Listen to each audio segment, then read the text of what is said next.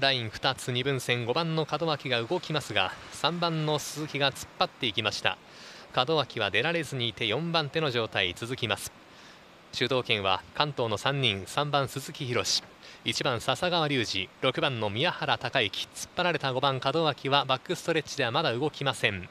4番手の状態を続けて残り1周半切りました。ここからぐいと踏み込んでいく5番門脇翼。4番ススタ少し離れ気味も下りで追いついていきます。しかしイン粘り飛びついて3番の鈴木宏4番ススタ大光。今日も初日競り込まれてしまってアウト競り3番の鈴木が内々をさばいて5番の門脇の行為勝ち取りました。1番の笹川隆二新潟勢。さらにはインコース4番手では三者並走6番の宮原あるいは切り替え2番の亀井道義。